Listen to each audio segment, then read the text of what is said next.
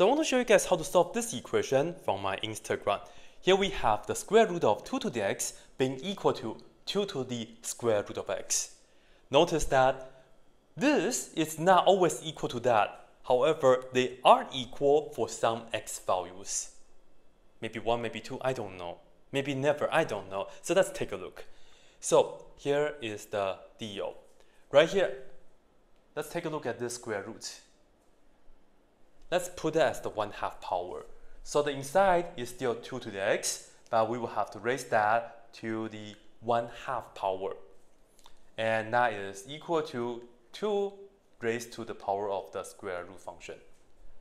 And then right here on the left hand side, notice that we have 2 to the x and then to the 1 half power. In this case, we can multiply the exponents. So we get 2 to the 1 half times x, and this is equal to 2 to the square root of x power. Now, both sides, they have the same base, which is the 2. And whenever the bases are the same, we can conclude that the exponents must be the same. Because in this case, 2 to the x is a one-to-one -one function, so the exponents must be the same.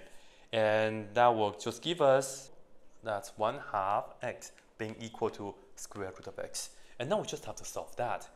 Okay, multiply 2 to both sides. x is equal to 2 square root of x. And then I'm going to square both sides. So I can get rid of the square root. The left hand side gives us x squared. And the right hand side, 2 squared is 4. Square root square cancel, is just x. And right here, move that to the other side. Do not divide both sides by x. Don't do that. Otherwise, you lose uh, a solution, which is a 0.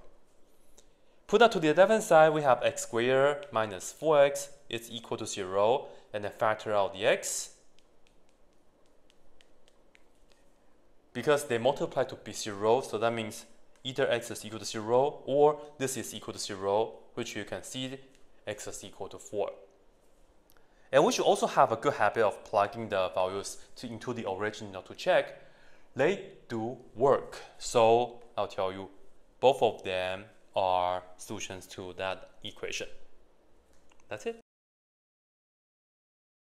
1, 3, 5, 7. What number will be next? Of course, 217341. Because of this polynomial here.